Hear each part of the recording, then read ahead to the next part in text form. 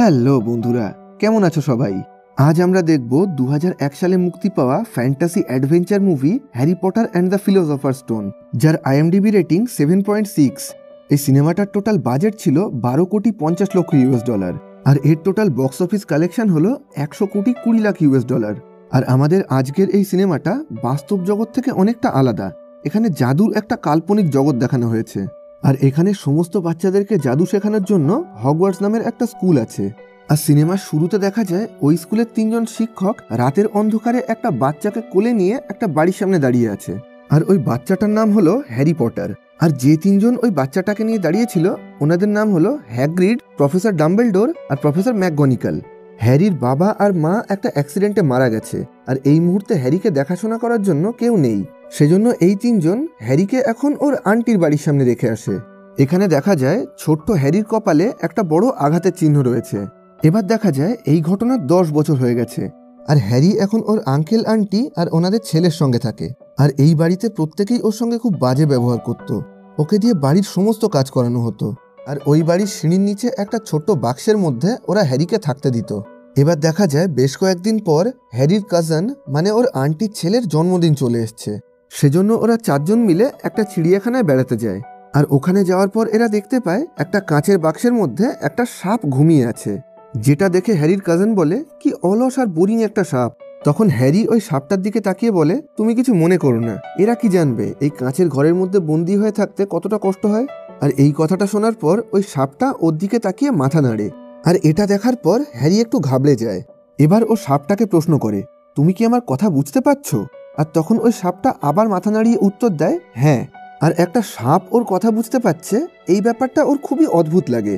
এবার দেখা যায় এই ঘটনার বেশ কয়েকদিন পর ওদের বাড়িতে কটা চিঠি এসছে। আর ওখানে বাকি সমস্ত চিঠির সঙ্গে হ্যারির নামের একটা চিঠি আছে, যেটা হগওয়ার্ড স্কুলের তরফ থেকে এসছিল। আর হগওয়ার্ডস ছিল এই পৃথিবীর সবচেয়ে নাম করা জাদুঘরি স্কুল। কিন্তু হ্যারির আঙ্কেল ওর কাছ থেকে ওর চিঠিটা কেড়ে নেয়, আর ওকে ওটা পড়তে দেয় না। এবার দেখা যায় এই ঘটনার পর থেকে প্রত্যেক দিন ওই বাড়িতে হ্যারির নামে একটা করে চিঠি আসতে শুরু করে। কিন্তু হ্যারির আঙ্কেল কখনোই ওকে ওই চিঠিগুলো পড়তে দিত না। এবার বেশ কয়েকদিন এরকমভাবে চলার পর হঠাৎ একদিন ওদের ঘরের মধ্যে চিঠির বৃষ্টি হতে শুরু করে। আর এটা দেখার পর ওর আঙ্কেল ঠিক করে ওরা সবাই এখান থেকে দূরে অন্য কোথাও চলে যাবে, যাতে ওদের কাছে আর কোনোভাবেই হ্যারির নামের এই চিঠিগুলো আসতে না পারে। এবার দেখা যায় এরা চারজন মিলে সমুদ্রের ধারে একটা ছোট্ট বাড়িতে থাকতে শুরু করেছে। আর ওখানে যাওয়ার কিছুদিন পর হ্যারির জন্মদিন চলে আসে। আর এখন ওর এগারো বছর বয়স হলো। কিন্তু দেখা যায় ওর জন্মদিনে ওর আঙ্কেল, আন্টি, কাজন কেউই ওকে উইশ করছিল না। সেজন্য হ্যারি নিজে থেকে ওই বাড়ির মেঝেতে পড়ে থাকা ধুলোর ওপরে একটা কেকের ছবি আঁকে আর তারপর নিজেই নিজেকে জন্মদিনের উইশ করে। তখন হঠাৎ হগওয়ার্ড স্কুলের তরফ থেকে হ্যাগ্রিড নামের একজন ওদের বাড়িতে চলে আসে। হ্যাগ্রিড সেই লোকটা ছিল যে ছোটবেলায় হ্যারিকে ওর আঙ্কেল আর আন্টির বাড়ির সামনে রেখে গেছিল। আর হ্যাগ্রিডস হলো হগওয়ার্ড স্কুল আর ওখানকার সমস্ত চাবির রক্ষক। আর এখন ও হ্যারিকে ও জন্মদিনের একটা কেক গিফট করে। আর তারপর ও হ্যারিকে বলে, আশা করি তুমি হগওয়ার্ড স্কুল সম্পর্কে সবকিছুই জানো। হ্যারি উত্তর দেয়, না, আমি কিছুই জানি না। তখন ও হ্যারিকে একটা চিঠি দেয়। এটা সেই চিঠি ছিল যেটা এতদিন ধরে ওদের বাড়িতে আসছিল, আর ওর আঙ্কেল ওকে সেটা পড়তে দিচ্ছিল না। এবার ওই চিঠিটা খুলে হ্যারি দেখতে পায়, ওখানে লেখা ছিল, ডিয়ার মিস্টার পটার, আপনাকে হগওয়ার্ড স্কুলে গ্রহণ করা হলো। হ্যাগ্রিডস ওকে আরও জানায় যে এই স্কুল থেকেই ওর বাবা আর মাও পড়াশুনো করেছে। আর এটা জানার পর ওই স্কুলে ভর্তি হওয়ার জন্য হ্যারি খুবই আগ্রহী হয়ে ওঠে। কিন্তু ওর আঙ্কেল আর আন্টি কোনোভাবেই চাইছিল না যে হ্যারি ওখানে ভর্তি হোক। কিন্তু হ্যাগ্রিডস ওখানে ওদের দুজনের কোনো কথা না শুনে হ্যারিকে নিজের সঙ্গে করে নিয়ে আসে।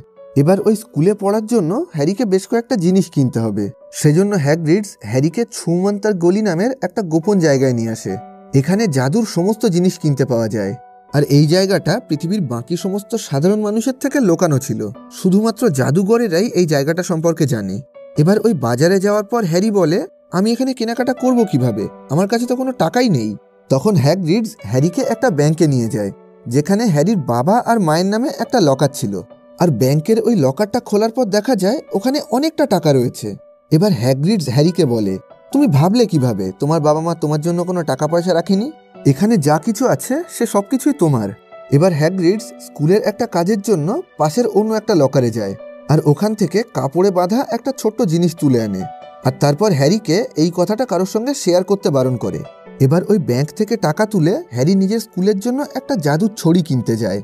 আর দোকানে ঢোকার পর ওই দোকানদারটা হ্যারিকে চিনতে পারে। উনি জানান, আজ থেকে বহু বছর আগে হ্যারির বাবা আর মা নিজেদের প্রথম জাদুর ছড়ি এই দোকান থেকেই কিনেছিল। এবার উনি হ্যারিকে বেশ কয়েকটা জাদুর ছড়ি দেখান, কিন্তু ওর মধ্যে থেকে কোনোটাই হ্যারিকে স্যুট করছিল না। এই জাদুর ছড়িগুলো সবসময় নিজেদের মালিককে নিজেরাই পছন্দ করে। এবার বেশ কয়েকটা ছড়ি দেখানোর পর উনি একটা স্পেশাল জাদুর ছড়ি হ্যারিকে দেখান। আর দেখা যায় ওই ছড়িটা হ্যারিকে নিজের মালিক হিসাবে পছন্দ করে নিয়েছে। আর এটা দেখার পর ওই দোকানদারটা বলে, এটা কীভাবে সম্ভব? ও হ্যারিকে জানায়, তোমার এই ছড়িটা একটা মায়াবী পাখির পালক থেকে তৈরি করা হয়েছে। আর ওই পাখিটা নিজের সারা জীবনে শুধুমাত্র দুটো পালক দিয়েছিল, যেটার থেকে মাত্র দুটো ছড়ি তৈরি করা হয়েছিল। আর এই পালকের দ্বিতীয় ছড়িটা সেই লোকের কাছে রয়েছে, যে তোমার বাবা মাকে খুন করেছে আর তোমার কপালে এই আঘাতের চিহ্নটা দিয়েছে। তখন হ্যারি ওই লোকটার নাম জানতে চায়। তখন ওই দোকানদারটা বলে, আমরা কেউই ওর নাম উচ্চারণ করতে পারব না। কিন্তু আমি তোমাকে এটুকু বলতে পারি, তুমি বড় হয়ে খুবই মহান কাজ করবে। কারণ যার কাছে এই পাখির পালকের দ্বিতীয় ছড়িটা আছে, সেও নিজের জীবনে খুব মহান কাজ করেছে। যদিও সেগুলো খুবই বড় আর ভয়ঙ্কর ছিল, কিন্তু ওগুলো মহান ছিল। এবার ওই দোকান থেকে বেরোনোর পর ও হ্যাগ্রিডের কাছে ওই লোকটার নাম জানতে চায়। হ্যাগ্রিড ওকে জানায় ওই লোকটার নাম হলো ভল্ডেমট, আর ও একসময় এই পৃথিবীর খুব মহান একজন জাদুঘর ছিল। কিন্তু আরও বেশি ক্ষমতা পাওয়ার লোভে ও শয়তানি শক্তির পুজো করতে শুরু করে। আর এই কাজে বেশ কিছু জাদুঘর ওকে সঙ্গ দিয়েছিল, কিন্তু অনেক জাদুঘর ওর বিরুদ্ধে চলে গেছিল। আর তোমার বাবা আর মা তাদের মধ্যে ছিল যারা ওর বিরোধিতা করেছিল। আর সেজন্য একদিন ভল্ডেমট তোমার বাবা আর মাকে মেরে ফেলে, আর সেই একই সাথে ও তোমাকেও মেরে ফেলতে চেয়েছিল। কিন্তু তোমার মধ্যে এমন কোনো ক্ষমতা বা শক্তি ছিল যে কারণে ও তোমাকে মারতে পারেনি। আর তুমিই হলে এই পৃথিবীর একমাত্র মানুষ যে ভল্ডেমটের হাত থেকে বেঁচে গেছে। আর সেজন্যই এই জাদুগরি জগতে সবাই তোমাকে খুব ভালোভাবেই চেনে, আর এদের মধ্যে তুমি খুবই বিখ্যাত। হ্যাগ্রিড ওকে আরও জানায় যে সবাই বলে ভল্ডেমট এখন মারা গেছে, কিন্তু আমার বিশ্বাস ও এখনও মারা যায়নি। ও আমাদের আশেপাশেই কোথাও বেঁচে আছে আর খুব অসুস্থ অবস্থায় আছে। এবার ওরা দুজন স্কুলে যাওয়ার জন্য স্টেশনে চলে আসে। আর ওখানে হ্যাগ্রিডস ওর হাতে একটা টিকিট দিয়ে ওখান থেকে চলে যায়। আর হ্যারি নিজের টিকিটের দিকে তাকিয়ে দেখে ওখানে লেখা ছিল প্ল্যাটফর্ম নম্বর পৌনে দশ। কিন্তু পুরো স্টেশনটা খোঁজার পরেও হ্যারি এরকম কোনো প্ল্যাটফর্ম খুঁজে পায়নি। এবার বেশ কিছুক্ষণ পর ও খেয়াল করে কয়েকটা বাচ্চা প্ল্যাটফর্ম নম্বর নয় আর দশের মাঝখানের দেয়ালের মধ্যে ঢুকে যাচ্ছে। আর ওদের দেখা দেখি হ্যারি নিজেও ভয়ের সাথে সাথে ওই দেয়ালের দিকে এগিয়ে যায়। আর ওই দেয়ালের মধ্যে ঢোকার পর ও সোজা প্ল্যাটফর্ম নম্বর পৌনে দশে এসে পৌঁছায়, যেখানে একটা ট্রেন দাঁড়িয়েছিল আর যার গায়ে লেখা ছিল হগওয়ার্ডস এক্সপ্রেস এবার ওই ট্রেনে করে যাওয়ার সময় রন আর হারওয়াইনি নামে দুজন বাচ্চার সঙ্গে হ্যারির বন্ধুত্ব হয়। এবার বেশ কিছুক্ষণ পর ওদের ট্রেন একটা স্টেশনে পৌঁছায়, আর তারপর ওই স্টেশন থেকে নৌকায় করে ওরা নিজেদের স্কুল হগওয়ার্ডসে পৌঁছায়। এবার স্কুলে ঢোকার পর ওরা দেখতে পায় ওই স্কুলের একজন প্রফেসর, যার নাম ম্যাকগনিক্যাল উনি সমস্ত স্টুডেন্টদের জন্য ওখানে অপেক্ষা করছেন। এবার উনি সমস্ত স্টুডেন্টদেরকে জানিয়ে দেন যে ভেতরে ঢোকার পর সবাইকে টোটাল চারটে টিমে ভাগ করে দেওয়া হবে। যে টিমগুলোর নাম হলো গড়রদুয়ার চিলঘাত মেহনতকাশ আর নাকশক্তি আর এখানে প্রত্যেকটা স্টুডেন্টের ভালো ব্যবহারের জন্য তাদের টিমকে পয়েন্ট দেওয়া হবে। আর তাদের করা কোনো ভুল বা অন্যায়ের জন্য তাদের টিম থেকে পয়েন্ট কেটে নেওয়া হবে। আর এইভাবে বছর শেষে যে টিমের কাছে সবথেকে বেশি পয়েন্ট থাকবে, তারা জিতে নেবে হাউস কাপ ট্রফি এবার ওই স্কুলে ঢোকার আগে ম্যালফয় নামের একটা ছেলে হ্যারির সঙ্গে কথা বলতে আসে। ও খুব নাম করা একটা ধনী পরিবার থেকে ছিল, আর সেজন্য ওর খুব অহংকার ছিল। ও হ্যারির কাছে এসে বলে, আশা করি তুমি সঠিক মানুষের সঙ্গে বন্ধুত্ব করবে। আর তারপর নিজের হাতটা হ্যারির দিকে বাড়িয়ে দেয়। তখন হ্যারি ওকে বলে, আমার সঠিক মানুষ চেনার ক্ষমতা আছে, আর আমি সেটা নিজেই বুঝে নেব। এবার ওই স্কুলের মধ্যে ঢোকার পর প্রফেসর ডাম্বালডোর এই সমস্ত নতুন বাচ্চাদেরকে স্কুলের নিয়ম জানিয়ে দেন। উনি জানান, কোনো বাচ্চাই রাত্রেবেলা স্কুলের মধ্যে ঘোরাঘুরি করতে পারবে না আর এই স্কুলের তিনতলার ডান দিকের অংশে কোনো স্টুডেন্ট যেতে পারবে না। এবার ওই রুমে ঢোকার পর দেখা যায়, ওখানে একটা কথা বলা জাদুগরি টুপির সাহায্যে এটা ঠিক করা হচ্ছে, ওই সমস্ত স্টুডেন্টদের মধ্যে থেকে কাকে কোন টিমে দেওয়া হবে। এবার দেখা যায়, হ্যারি আর তার বন্ধু রন আর হারমাইনিকে গারুরদুয়ার টিমে দেওয়া হয়েছে। এবার এসব কিছুর পর সমস্ত টিমের মনিটররা তাদের বাকি টিমমেটদেরকে নিজেদের নিজেদের রুমে নিয়ে যায়। আর ওই রুমে যাওয়ার জন্য এদেরকে যে সিঁড়ি ব্যবহার করতে হচ্ছিল, সেগুলো সব জাদুর সিঁড়ি ছিল। আর ওই সিঁড়িগুলো সময়ে সময়ে নিজেদের দিক পাল্টে ফেলতো।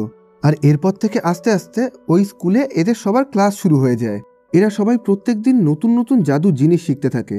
আর এরকমভাবে এদের সবাইকে একদিন উড়ন্ত ঝাড়ুতে চড়ার ট্রেনিং দেওয়া হচ্ছিল। এবার ওই ঝাড়ুতে করে আকাশে ওড়ার সময় ওপর থেকে একটা বাচ্চা নিচে মাটিতে পড়ে নিজের হাত ভেঙে ফেলে।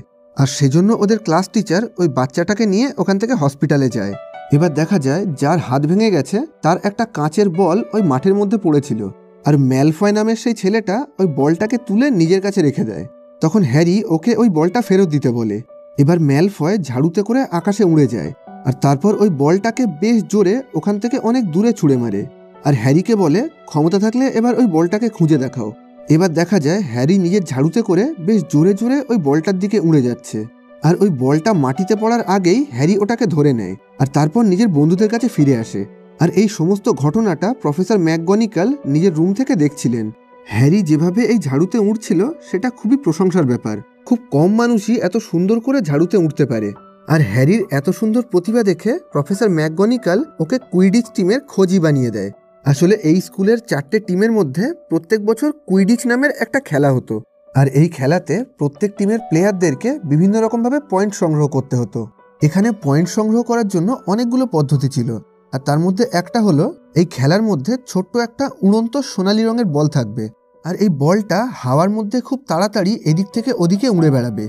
আর উড়ন্ত অবস্থায় এই বলটাকে খালি চোখে দেখতে পাওয়া একদমই সহজ কাজ নয়। আর প্রত্যেক টিমের খোঁজিদের কাজ ছিল খেলা চলাকালীন এই উড়ন্ত বলটাকে খুঁজে বের করা। আর খেলা চলাকালীন যে টিম সবার আগে এই বলটাকে খুঁজে পাবে, তারাই এই খেলাটা জিতে যাবে। আর এখন হ্যারিকে এই খেলার জন্য গারুরদুয়ার টিমের হয়ে খোঁজি হিসাবে সিলেক্ট করা হয়। আর বিগত একশো বছরের মধ্যে হ্যারি ছিল এই স্কুলের সবচেয়ে কম বয়সী কুইডিচ প্লেয়ার। এবার হ্যারি জানতে পারে ওর বাবা একসময় এই স্কুলের খুব নাম করা একজন খোঁজি ছিলেন। এবার এই ঘটনার বেশ কিছুদিন পর এরা তিনজন ক্লাস করে যখন নিজেদের রুমে ফিরছিল, তখন ওই স্কুলের সিঁড়িগুলো হঠাৎ নিজেদের দিক পরিবর্তন করতে শুরু করে। আর সেজন্য এরা তিনজন স্কুলের তিনতলার ডান দিকে সেই জায়গায় পৌঁছে যায় যেখানে সমস্ত স্টুডেন্টদের যাওয়া বারণ ছিল। এবার ওখানে যাওয়ার পর একটা রুমের মধ্যে ঢুকে ওরা দেখতে পায়, ওখানে তিনটে মুখওয়ালা একটা বিশাল বড় কুকুর রয়েছে। আর ওই কুকুরটা নিজের পিছনে একটা গোপন দরজার পাহারাদারি করছে। আর এরা ওই রুমে ঢোকার পর ওই কুকুরটা এদের উপরে হামলা করার চেষ্টা করে। কিন্তু এরা তিনজন কোনো রকমে ওখান থেকে পালিয়ে আসে। আর এখন ওই ঘরের ভেতরের গোপন দরজাটাকে দেখার পর এরা তিনজন বুঝে যায় যে ওখানে খুব দরকারি কোনো জিনিস লোকানো আছে। এবার বেশ কয়েকদিন পর ওদের স্কুলের কুইডিচ খেলা শুরু হয়ে যায়। আর ওখানে হ্যারি আর তার বাকি সমস্ত টিম খেলার মাঠে নেমে পড়ে। কিন্তু খেলা শুরু হওয়ার কিছুক্ষণের মধ্যেই দেখা যায়, হ্যারির ঝাড়ু ও নিয়ন্ত্রণের বাইরে চলে যাচ্ছে। আর গ্যালারিতে বসে এসব কিছু দেখার সময় হারমাইনি খেয়াল করে, ওদের স্কুলেরই একজন টিচার, যার নাম প্রফেসর স্নেপ, উনি দূর থেকে মন্ত্র পড়ে হ্যারিকে ওই ঝাড়ুর থেকে নিচে ফেলে মেরে ফেলার চেষ্টা করছিল। আর এটা দেখার পর হারমাইনি সোজা প্রফেসর স্নেপের কাছে চলে যায়, আর ওখানে ওনার অজান্তেই জাদুর সাহায্যে ওনার কাপড়ে আগুন লাগিয়ে দেয়। যে কারণে প্রফেসর স্নেপের মনোসংযোগ নষ্ট হয়ে যায়, আর সঙ্গে সঙ্গেই হ্যারি আবার নিজের ঝাড়ুতে নিয়ন্ত্রণ ফিরে পায়। আর এরপর কিছুক্ষণের মধ্যেই হ্যারি ওই সোনালি বলটাকে খুঁজে বের করে। আর এখানে হ্যারি আর তার পুরো টিম ওই ম্যাচটা জিতে যায়। এবার দেখা যায় কয়েকদিন পর হ্যারি, রন আর হারমাইনি হ্যাগ্রিডের সঙ্গে দেখা করেছে।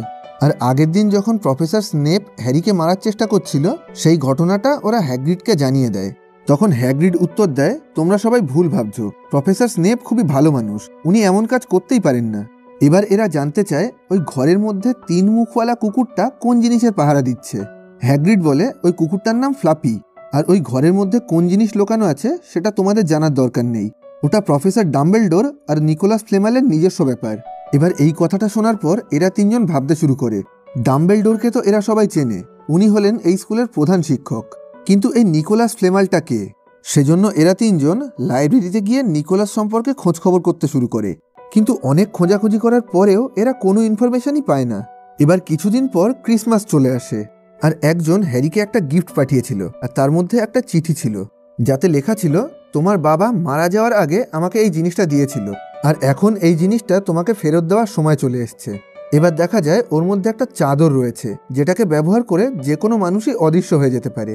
এবার হ্যারি এই চাদরটা ব্যবহার করে নিকোলাসের খোঁজ করার জন্য লাইব্রেরির সেই অংশে যায় যেখানে স্টুডেন্টদের যাওয়া বারণ ছিল। কিন্তু দেখা যায় কিছুক্ষণের মধ্যেই ওখানে লাইব্রেরির গার্ড চলে এসছে। আর হ্যারি ভয় পেয়ে গিয়ে ওখান থেকে পাশের অন্য একটা রুমে লুকিয়ে পড়ে। ওই রুমের মধ্যে একটা জাদুগরি মায়া আয়না রাখা ছিল। কোনো মানুষ যদি ওই আয়নার সামনে দাঁড়ায়, তাহলে সে সেই জিনিসটাকেই দেখতে পাবে, যেটাকে সে এই পৃথিবীতে সবচেয়ে বেশি পেতে চায়। আর ওই আয়নার সামনে দাঁড়ানোর পর হ্যারি দেখতে পায় ওর সাথে ওর মা আর বাবা দাঁড়িয়ে আছে। হ্যারি ছোটবেলা থেকে কখনো ওর মা বাবার ভালোবাসা পায়নি। আর ও ছোটবেলা থেকে এই জিনিসটাকেই সবচেয়ে বেশি পেতে চাইতো। আর এরপর থেকে হ্যারি মাঝে মাঝেই ওই আয়নার সামনে যেত আর ওখানে অনেকটা করে সময় কাটাতো। এবার একদিন হ্যারি যখন ওই আয়নার সামনে বসেছিল, তখন ওখানে প্রফেসর ডাম্বেলডোর চলে আসেন। আর উনি হ্যারিকে বলেন, তুমি খুব ভালোভাবেই জানো, এর কোনোটাই সত্যি না, সবটাই মায়াজাল। আর আমি চাই না তুমি এই মায়াজালে আটকে যাও। সেজন্য কালকেই এই আয়নাটাকে এখান থেকে অন্য জায়গায় সরিয়ে দেওয়া হবে। এবার কিছুদিন পর হারমাইনি একটা বই পড়ে নিকোলাস ফ্লেমালকে খুঁজে বের করে। আর ওখান থেকে এরা তিনজন জানতে পারে যে নিকোলাস ফ্লেমাল হলো এই পৃথিবীর একমাত্র মানুষ যিনি পরশ পাথর বানাতে পারেন। আর পরশ পাথর হলো এমন একটা পাথর যেটার সাহায্যে যে কোনো ধাতুকেই সোনায় রূপান্তরিত করা যায়। আর ওই পাথরের সাহায্যে এক ধরনের অমৃত বানানো যায়, যেটা খেলে যে কোনো মানুষই অমর হয়ে যাবে। আর এই পৃথিবীতে এখন শুধুমাত্র একটাই পরশ পাথর রয়েছে। আর এটা পড়ার পর ওরা তিনজন বুঝে যায় যে ওই তিন মুখওয়ালা কুকুরটা ওখানে এই পরশ পাথরের পাহারাদারি করছে। এবার ওরা তিনজন সেদিন রাতেই হ্যাগ্রেডের সঙ্গে দেখা করে। আর ওকে জানায় যে প্রফেসর স্নেপ ওই পরশ পাথরটাকে চুরি করার চেষ্টা করছে। কিন্তু হ্যাগ্রেড ওদেরকে আবারও বলে যে তোমাদের ভুল হচ্ছে। প্রফেসর স্নেপ সেই সমস্ত প্রফেসরদের দলে যারা এই পরশ পাথরটাকে বাঁচানোর চেষ্টা করছেন। এবার হ্যাগ্রিডের সাথে কথা বলতে বলতে ওরা দেখতে পায় ওখানে একটা ড্রাগনের ডিম রয়েছে। হ্যাগ্রিড এদেরকে জানায়, আমি অনেকদিন ধরে এই ড্রাগনের ডিমটাকে খুঁজছিলাম, আর কিছুদিন আগেই একটা অচেনা মানুষ আমাকে এই ডিমটা গিফট করে। আর এরপর হ্যাগ্রেড এদের তিনজনকে আবার নিজেদের রুমে ফিরে যেতে বলে। এবার দেখা যায়, স্কুলের মধ্যে ঢোকার সময় প্রফেসর ম্যাকগনিকাল এদের জন্য অপেক্ষা করছিলেন। যেহেতু সমস্ত স্টুডেন্টদের রাতে স্কুলের মধ্যে ঘোরাঘুরি করা বারণ ছিল, সেজন্য এদের তিনজনকে শাস্তি দেওয়া হয় আর এদের প্রত্যেকের কাছ থেকে পঞ্চাশ নম্বর করে কেটে নেওয়া হয়। আর ওই সময় এদের তিনজনের সাথে সাথে ম্যালফয় নামের একটা ছেলে ওই স্কুলের বাইরে ঘোরাঘুরি করছিল। ম্যালফয় লুকিয়ে লুকিয়ে এদের তিনজনকে ফলো করছিল। আর সেজন্য এখন ম্যালফয়কেও এদের সাথে শাস্তি দেওয়া হয় আর ওর থেকেও পঞ্চাশ নম্বর কেটে নেওয়া হয়। এখন শাস্তি হিসাবে এদের চারজনকে এই রাত্রেবেলায় হ্যাগ্রিডের সঙ্গে জঙ্গলের মধ্যে যেতে হবে। আর কিছুক্ষণ আগে এই জঙ্গলের মধ্যে একটা ইউনিকর্নকে খুন করা হয়েছে। আর এখন হ্যাগ্রিড জঙ্গলের মধ্যে সেই ব্যাপারটাই তদন্ত করার জন্য যাচ্ছে। জঙ্গলের মধ্যে যাওয়ার পর এরা দুটো টিমে ভাগ হয়ে গিয়ে ওই ইউনিকর্নটাকে খুঁজতে শুরু করে। হ্যাগ্রিড, রন আর হারমাইনি একটা টিমে ছিল আর অন্য টিমে ছিল হ্যারি আর ম্যালফয়। এবার এরা দুজন জঙ্গলের মধ্যে বেশ কিছুটা যাওয়ার পর দেখতে পায় অন্ধকারের মধ্যে একটা ছায়া একটা ইউনিকর্নকে মেরে তার রক্ত খাচ্ছিল। আর এটা দেখার পর ম্যালফয় সঙ্গে সঙ্গে ওখান থেকে পালিয়ে আসে। কিন্তু হ্যারি ওখানেই দাঁড়িয়ে থাকে। আর ওই ছায়াটা আস্তে আস্তে হ্যারির দিকে এগিয়ে আসতে শুরু করে। এবার কিছুক্ষণ পর ওই ছায়াটা যখন হ্যারির উপরে হামলা করতে যাচ্ছিল, ঠিক তখনই জঙ্গলের মধ্যে থেকে একটা অসমানব এসে হ্যারিকে বাঁচিয়ে দেয়। ওটা অর্ধেক মানুষ আর অর্ধেক ঘোড়ার সংমিশ্রণ ছিল।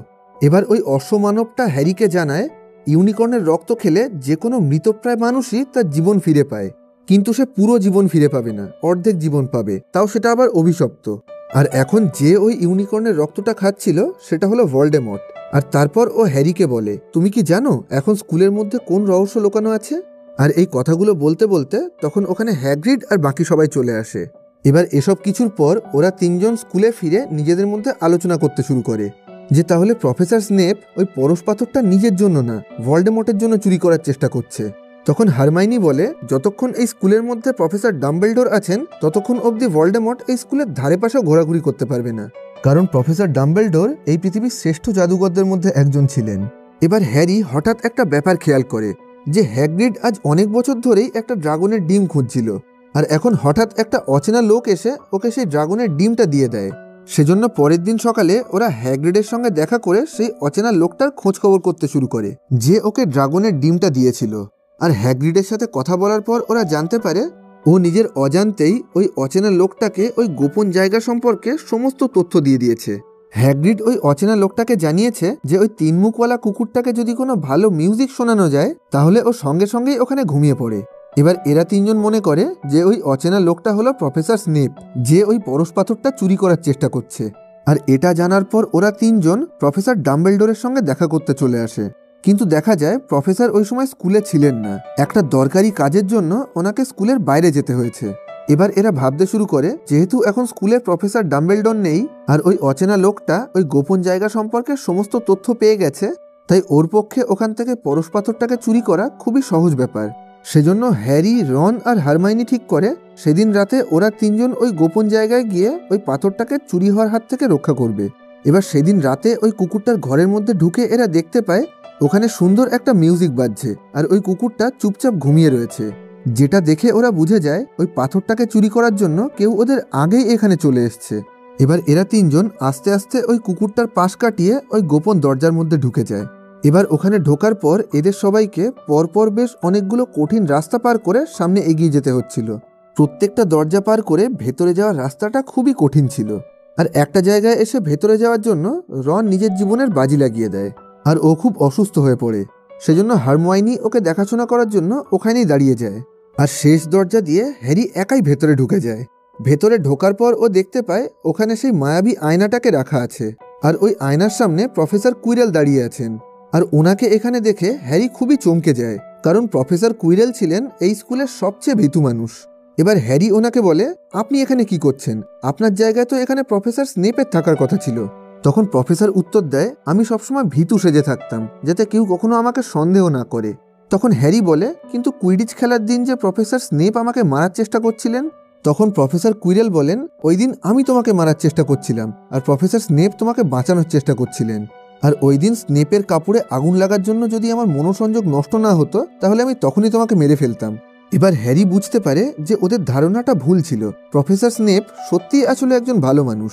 এবার প্রফেসর কুইরেল ওই আয়নার দিকে তাকিয়ে বলে, আমি সবসময় এখানে দাঁড়িয়ে দেখতে পাই যে আমি পরশ পাথর হাতে নিয়ে দাঁড়িয়ে আছি। কিন্তু আসল জীবনে আমি সত্যি সত্যি ওই পাথরটাকে পাবো কীভাবে? তখন একটা আওয়াজ প্রফেসরকে বলে, এই ছেলেটার সাহায্যে।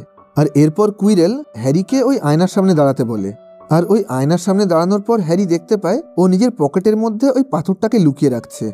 আর এবার যখন আয়না থেকে চোখ সরিয়ে ও নিজের পকেটের দিকে তাকায়, তখন দেখতে পায় সত্যি সত্যি ওর পকেটের মধ্যে সেই পরশ পাথরটা রয়েছে। এবার প্রফেসর কুইরেল ওর কাছে জানতে চায়, আয়নায় তুমি কি দেখতে পেলে? হ্যারি জানায়, আমি দেখলাম আমি হাউস কাপ জিতে গেছি আর আমি ডাম্বেলডোরের সঙ্গে কথা বলছি। তখন আবার একটা আওয়াজ আসে, ও মিথ্যে কথা বলছে, তুমি আমাকে ওর সঙ্গে কথা বলতে দাও। আর এরপর প্রফেসর কুইরেল নিজের মাথার পাগড়িটা খোলে, আর দেখা যায় ওর মাথার পিছন দিকে আর একটা মুখ আছে, আর এটা হলো ভলডেমটের মুখ। আর ও হ্যারিকে বলে, কেমন আছো হ্যারি? আমাদের আবার দেখা হয়ে গেল। দেখেছ আমি কি থেকে কি হয়ে গেছি? ইউনিকর্নের রক্ত আমাকে জীবন ফিরিয়ে দিয়েছে ঠিকই, কিন্তু সেটা অর্ধেক আর অভিশপ্ত। দেখেছ, বেঁচে থাকার জন্য আজ আমি কতটা নিচে নেমে গেছি? আর এখানে বোঝা যায়, ইউনিকর্নের রক্তের জন্য ভলডেমট বেঁচে গেছিল ঠিকই, কিন্তু ও নিজের অর্ধেক জীবন ফিরে পেয়েছিল। সেজন্য ওর কাছে নিজের কোনো শরীর ছিল না। বেঁচে থাকার জন্য ওকে প্রফেসর কুইরেলের শরীর ব্যবহার করতে হচ্ছিল।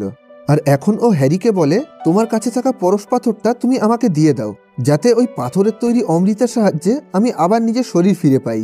কিন্তু হ্যারি কোনো রকমেই ওকে পাথরটা দেওয়ার জন্য রাজি ছিল না। সেজন্য ভল্ডেমট, প্রফেসর কুইরেলকে আদেশ করে হ্যারিকে মেরে ফেলার জন্য। এবার কুইরেল যখন হ্যারির গলা চেপে ওকে মেরে ফেলার চেষ্টা করছিল, তখন হ্যারি কুইরেলের হাতটাকে জোরে চেপে ধরে, আর তখন হঠাৎ ওর হাতটা জ্বলতে শুরু করে, আর আস্তে আস্তে ওটা পুড়ে গিয়ে ছাই হয়ে যায়। ওখানে হ্যারি আর প্রফেসর দুজনেই অবাক হয়ে গেছিল। ওরা বুঝতে পারছিল না হ্যারির মধ্যে এই শক্তিটা এলো কীভাবে। এবার হ্যারি তাড়াতাড়ি করে দুহাত দিয়ে প্রফেসরের মুখ চেপে ধরে আর আস্তে আস্তে ওখানে প্রফেসরের পুরো শরীরটা জ্বলতে শুরু করে আর কিছুক্ষণের মধ্যেই ওর পুরো শরীর ওখানে ছাই হয়ে ধসে পড়ে আর এভাবেই প্রফেসর কুইরাল ওখানে মারা যায় আর ভল্ড ভল্ডেমট নিজের শরীরটা হারিয়ে ফেলে। এবার নিজের ওই অর্ধেক শরীরটাকে হারানোর পর ভল্ডেমট ওখান থেকে পালিয়ে যায়।